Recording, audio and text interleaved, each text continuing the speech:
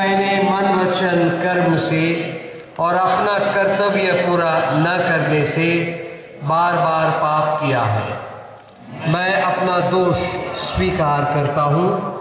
इसलिए मैं धन्य कुमारी मरियम से, सब स्वर्गदूतों, सब संतों और आप लोगों से, हे भाइयों और बहनों, विनती करता हूँ कि आप मेरे लिए प्रभु परमेश्वर से प्रार्थना करें।